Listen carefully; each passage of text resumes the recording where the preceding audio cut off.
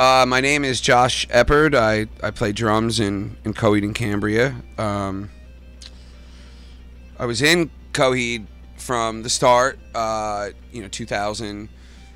And uh, I don't know if you guys are, or you guys out there are familiar with the history of Coheed, but I actually left the band uh, in 2007. Um, I was a, a horrible, I was a heroin addict for a long time. So uh, I cleaned up and I came back about a year ago, and this is kind of the uh, first record with me back. I missed two records, um, so you know this is really special for me, and and uh, you know it feels like uh, kind of like going home without sounding too corny.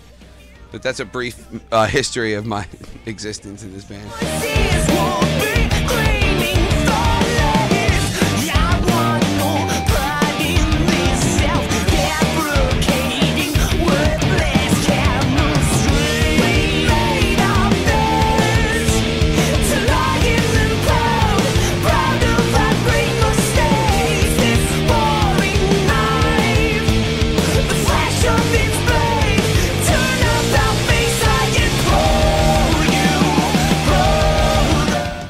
Well, I think you know I I really missed Claudio and Travis. I mean, we you know, there's not really a substitute for living in a van together. I mean, you see the best of someone and the worst, and those guys. I miss those guys. I certainly I certainly missed playing with them.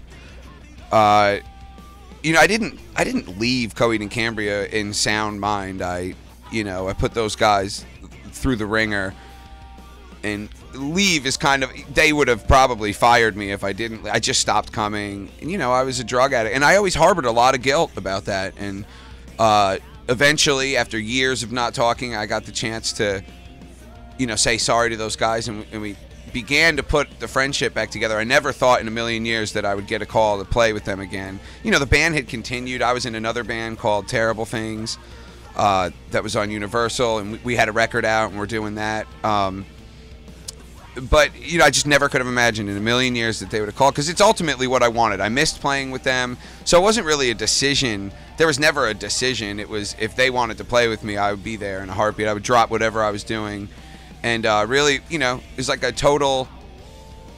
You know, things come around full circle, and uh, but it was just about the wildest thing in the world. I never thought that I would get a call from those guys, so I guess I did make a decision to come back, but I, it's what I always wanted. So. Um, well, for me personally, and I could speak for the rest of the guys, uh, you know, a, a, really wide, eclectic mix of influences. Uh, you know, Led Zeppelin and Pink Floyd, a lot of classic rock. You know, The Who. Uh, and then from there, you know, we all kind of branch off and have different things that we're into. You know, I listen to a lot of pop music. Um, I just really like Kelly Clarkson. You mentioned her before. I really like her. Uh, there's almost like a tongue in cheek with that's kind of my thing, the super candy coated pop stuff.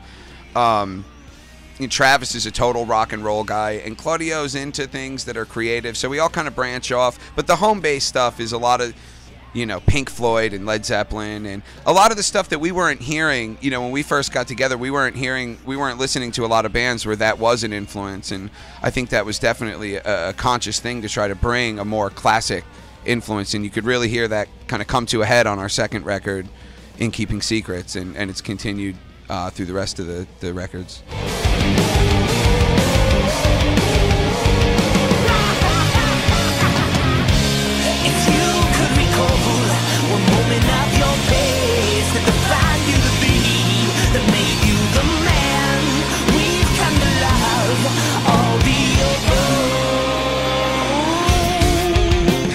Uh, I think I started playing when I was 10 or 11. Actually, the opening band tonight, three, who we're out on tour with, is my brother, uh, my brother's band.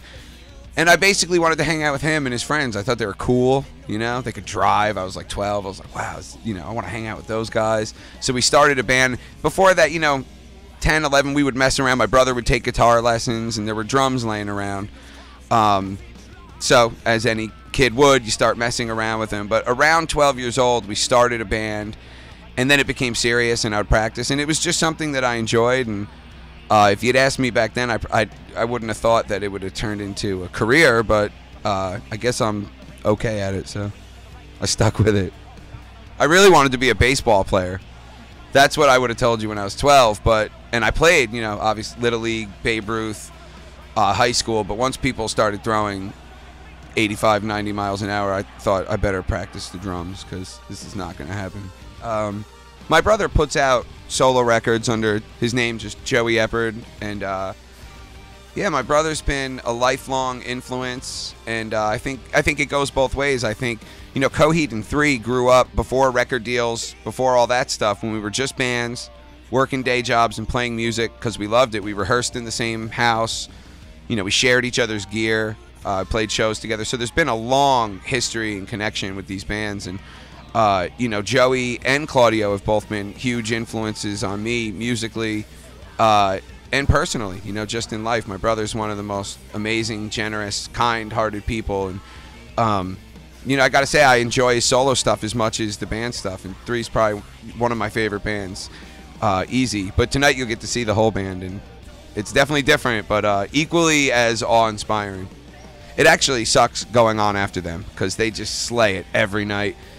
Without a doubt, the best band I've ever seen. I almost wish Joe wasn't my brother, so I could say because people always say, "Ah, it's your brother." That's the only reason you're saying that. But really, literally, the best band I've ever seen. I've never seen a band as good as them man, I'll tell you, uh, we we did a record. Um, Claudio's always creative. Anybody that knows Claudio, he, he never stops working, and maybe that's because it's it's not work to him, or but he, he, just never stops. He's always creating. It's a real inspiration to me.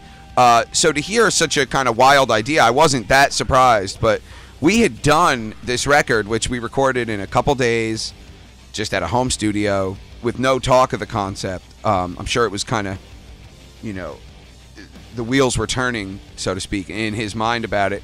Um, and the first time I heard about it, he just kind of said it nonchalantly. I never had any idea it would turn into this thing. And uh, I, I, said, "Oh, that sounds cool, man." Uh, you know, like a lot of Claudio's ideas. Um, but it obviously, you know, really came to fruition and became such a big part of Coheed and Cambria. But at the time, I didn't. Not that I didn't respect the weight of the idea. I didn't really. I said, "Oh man, that sounds awesome." kind of thinking probably never happened actually, but uh, you know, it's something that he felt inspired to do, and, and I think he's done an incredible job with it. You know, I got to tell you, when the first comics came out, I was not impressed. I thought that they were bad. Um, I just and and I think maybe, and I don't want to speak for Claudio, get him in trouble, but I think he's done so much great work and really let this story evolve. Like the graphic novel with Good Apollo One, I thought was incredible, and and it's just it's a real treat to be involved in the band and watch the story evolve. I mean, he just signed a deal with Leverage, which is Mark Wahlberg's company. I mean, does it get any cooler than that? You know, I hope he makes the next Star Wars. I'm really seriously proud of him. Well, I think you know I can only really give you the broad strokes. I'm not really allowed to talk too much about it, but um, I think with just like music or anything, just like what you guys do over time, it, it evolves different ideas inspire you. Uh, and I think Claudio wanted to meld the Bag.On.Line Adventures kind of into the Amory Wars. He saw that inspired him more. And uh, you'll notice some of the same themes in those early comics pop their heads in, in the Amory Wars. And it's kind of not a redo, but uh, a bit more of an evolved uh, and a bit better, in my opinion. I thought it got a lot better. I thought there was a real leap in the writing, the artwork, the whole nine, and I think it continues to evolve. So I don't know if that answers the question. Sorry. Yeah. Uh. Yeah. I mean, Mike's a good dude. You know, he he robbed a pharmacy. I mean, that's why he's not in the band. Um. You know, after everything that happened with with me and Mike in uh, in 2006 with the you know everybody in this band had worked their asses off for years to achieve a goal you know i mean it wasn't about record sales, but it was about reaching people. And we put that all in jeopardy. And you don't see that like this, you know. We, you're a drug addict, and Mike Mike cleaned up. I left the band. Me and Mike were gonna oh we're gonna start our own band. Blah blah. We're just junkies. Um, and Mike went back to Coheed and he cleaned up and there I was bitter about that for a, a, few years. You know, really it hurt me. Um, you know, I felt left by him, but I once I cleaned up, I, I was really proud of him. But staying clean is hard, and I guess he didn't stay clean. I, I guess that's pretty obvious, right? And I don't mean any disrespect because I, I really think the world is, is a better place with Mike in it, and I, and I know Mike is a good guy. He just is sick and needs to spend some time on, you know, figure this thing out. You know, I don't think I know everything. In fact, I'm smart enough to know that I don't know anything. Um, but I know I won't. I'm done with drugs. I've seen it. You know, I've lost five friends uh, to OD. You know that OD'd. Uh, countless friends in jail. And uh, I think Mike's got to figure this thing out, man. This thing ruins a lot of lives, and uh, everything that Coheed has already been through, they're not going to sign up and do it again. I mean, get it together.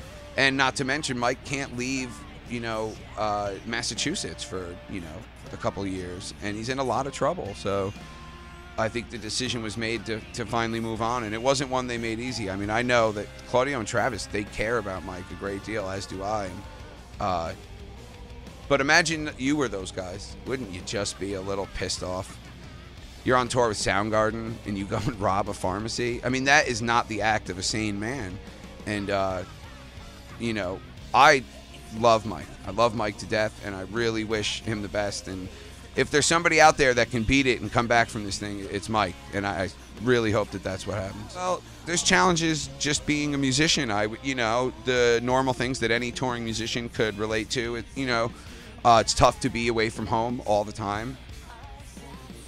Uh, well, you have to find a way to deal with it. That's actually not tough for me anymore, but it was for a long time until I learned that it's up to you whether it's going to be a total drag or whether it's going to suck. Like our sound guy, oh, this bus sucks. Guess what? Even if it does, it's up to you whether it's going to be a total drag, you're going to bitch and moan about it all day, or you're going to say, all right, I'm going to make the best of it. And that same thing applies to touring. Um, but that's one of the big challenges that musicians face. I mean, you grow up practicing in your garage, you want to be a musician, and then all of a sudden it becomes a reality and you realize, wait, girlfriends and things like that, forget about it. Wives, you know, you have to dedicate your life to this. So that's one of the big major things. Um, you know, always I I'm 32 years old. Uh, you know, I'm not a kid anymore, and I, I try to learn every day and, and get better. And um, you know, that's always a challenge. And I think as a band, we just every time we get on stage, we want to be better than the night before. And uh, you know, that's something new with Coheed. The last few years of Coheed, and I hate to say this, but you know, me personally, and probably Mike, were phoning it in. You know, while Travis and Claudio were working hard at getting better every day, we were just bitter. I, I don't know what about anymore. I can't remember. Um, and angry, but uh, it feels really fresh and exciting and new to have kind of the same share the same energy and to try to. That's I think the biggest challenge is to try to be better every night we get on stage and to keep progressing. I mean, we, we all want to be great, you know. I love rap music. You know, I got a lot of friends that, and I, you know, I did Warp Tour in 2011, and it was a, it was it was fun. You know, I love Warp Tour and stuff. I opened up for Ludacris in China, and you know, I did some cool stuff. But uh, I'm just focused on Coheed right now, and really, the ultimate goal with Weerd Science was to be a producer. And um, there's some there's some things happening that I sure wish I could talk about, but uh, I guess I'll get in trouble if I do. And I had to sign things that say I can't. So. Um, but I think that's the road that I'm headed down, and that was always kind of I knew all these rappers, but all they talked about shooting people and you know, it was kind of lame. So I started writing rhymes for them, and then they couldn't really do them. So I was like, well, let me do it, and then you do it like I do it. And I kind of fell in love with doing it. I realize it's a little weird. People are like, oh, you're a rapper. but yeah, you know, I grew up in New York, and I love hip hop. Hip hop's probably my favorite kind of music. Um, and uh, but I think that, you know when I think back to why I started, it was always that I really wanted to help craft these songs, maybe with other MCs and and do things like that. So that's where that's headed, and there's some really interesting opportunities uh, ahead that I'm really excited about. So hopefully it you know comes to fruition or whatever. Oh, I mean, come on, I Obama.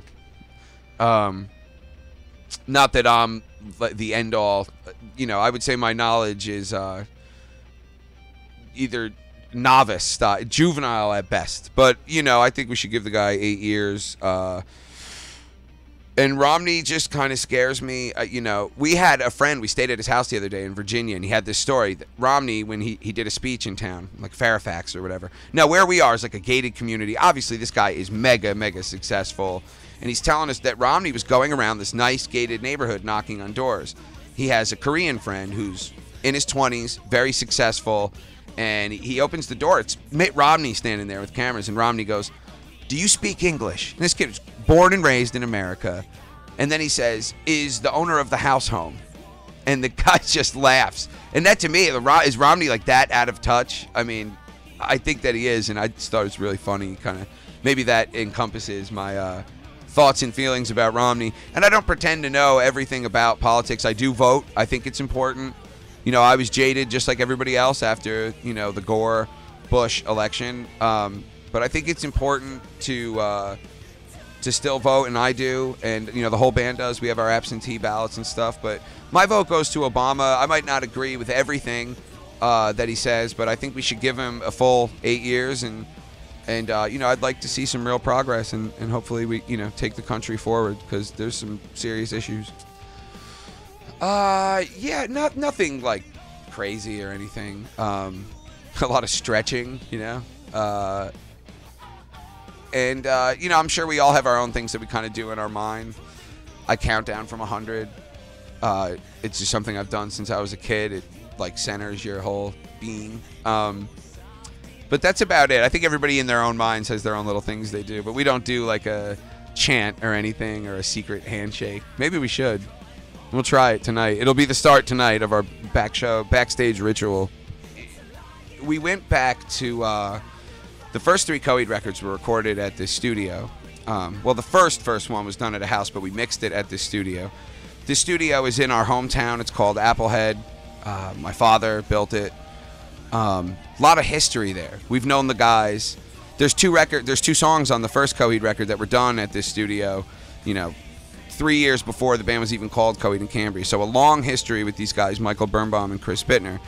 Now, when I left Coheed, they went and did two records with other producers, but they, they came back to the studio and um, and then obviously having me back, there was a lot of old relationships there, a lot of history, and uh, I think we were trying to capture some of that uh, magic on the first three records by going back to the same studio. So, and then obviously having me there, but it just felt. Uh, I know it sounds just kind of cheesy, but it really felt like home, you know. And I just I think it was definitely the most fun I've ever had making a record. It was a really, you know, you got to understand. By the third Coheed record, I'd come in, I'd knock out the drums in two weeks, and I'd take off. And there was a lot of resentment. I think we were all a little tired of each other. There's no, who knows how to deal with things like that. You know, we're playing to five to ten thousand people a night. Two of the guys, me and Mike, are, are shooting heroin all day. It's just, it was getting to a point where it was really ugly. So to come back to this place and have it not be ugly and to have, you know, you're a little bit older, there's communication, and it was just like a really free, creative record. The whole band was there the whole time, sharing ideas and just having a good time. And, and I think that those kind of things, they go into the microphones and they get pressed on that record. It's something that you can feel and hear on this record. And, I, and I, I think that we did a good job of, a great job of capturing it. I, I literally could not be more proud of, of the Afterman, both records. So. Well, with with the Afterman, it's a double record. It's being released a couple months apart. Uh, the first part, Ascension, comes out October 9th, and the next part, Descension, comes out in February. Uh, and that that came about. The reason it's a double record is because we had so much material that we just couldn't find a way to fit onto one record. And you know, if you're going to cut it down to one record, oh, we're doing away with this song. Man, this song is really weird. It, it just belongs, man. It's so out there. And then we started entertaining the idea of a double record. Uh, we didn't want it to be hokey or you know, gimmicky. Uh, it really just was born of too much material, and I think that speaks to, you know, how much fun we were having in the studio. And you know, we made this record differently than any record I've ever been a part of. We didn't have a whole record, come in, knock out the drums, knock out the bass, then it's guitars, and then it's Claudio singing for a month. A lot piled up. We did it. Let's get these two songs. Let's go to Claudio's house and jam in the basement on them and learn them. and then let's get the drums for these two songs, and then the bass, and then the guitars. Claude, you want to sing a little bit? And I think what it did is it let each song kind of have its own character. It wasn't just a batch of songs that we recorded. Each song came from, you know, you feel different from Tuesday to Wednesday, but you feel really different from week to week or even month to month. So, you know, setting up the drums in different parts of the room and, uh, you know, different amps, different guitars, and just really gave each song its own, you know, we focused in and honed in on each song to give it its own kind of sound. And, and I think that lends to the uh, uniqueness of the record. And, uh, and again, we were just we would come in ready to work on this song, but Travis has a guitar riff. It catches Claudio's ear, and we were free enough without any kind of boundaries that it could be like, set up the drums. We're recording this song right now. And that happened with a couple songs, just things that were written right there in the studio. And I mean, that's what it's all about is, you know, being creative and, uh, you know, it's fun to put together a song. I mean, ultimately, that's why we do this.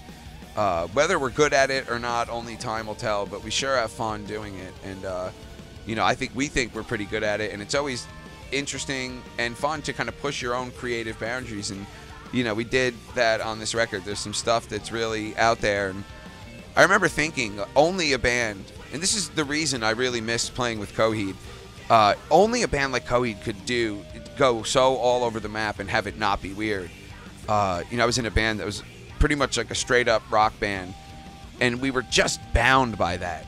You know, oh, that lyric's scary, or I would say things like, man, we got to put an opera chorus in here. We got to have a choir going in here. They would look at me like I had two heads.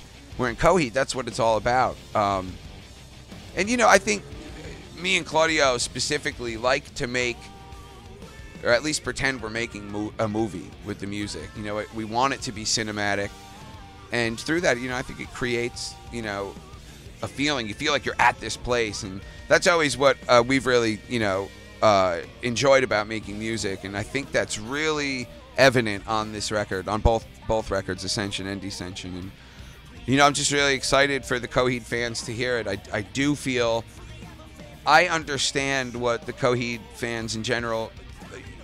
Not that they don't like Black Rainbow, but it was a bit of a departure. I thought Black Rainbow was incredible, Coheed's last record, and No World for Tomorrow, the record before that, was probably my favorite Coheed record. Um, but I think this was definitely kind of a return to the more classic elements that maybe some of the Coheed fans were missing in those records. But just to be clear, that's not a diss to those records. I think those records were incredible. I heard a lot of growth, certainly with Claudio as a songwriter, and I think that all, to me, it felt like that all came to a head on this record. Uh, but we had a bit more of the experimentation and you know going back to that studio that we hadn't been at in years. We're back there together. I think we couldn't help it. Kind of some of those classic elements that were there on the previous records, kind of rearing their heads, and uh, just really excited for the fans to hear it and, and respond to it. Cause I, I know they're gonna love it.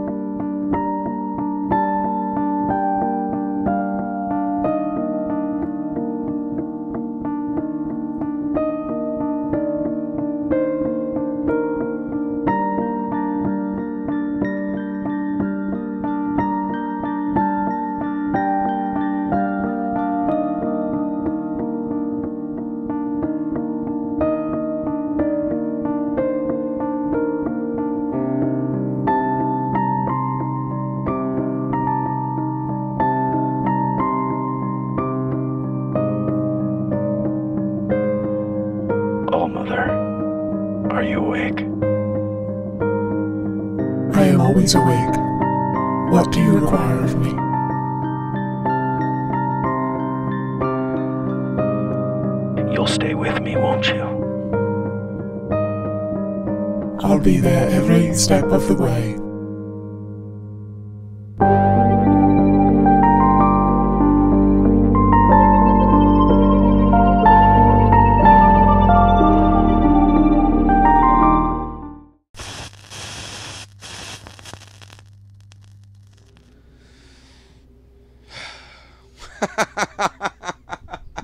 All right, that's a hilarious question. I like that. Uh, what do I think life is? Uh, I'm gonna try to not go just off the top of the head here. I mean, I've thought about that. Um, to me, I think that life is I mean, it's a journey.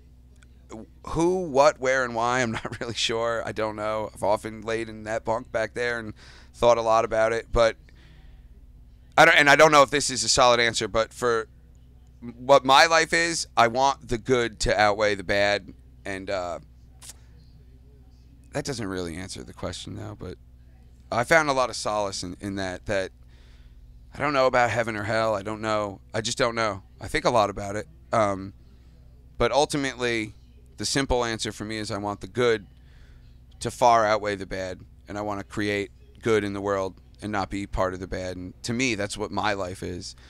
Uh, the overall life, I, I just don't know. I, and I, don't, I really don't know how to answer that.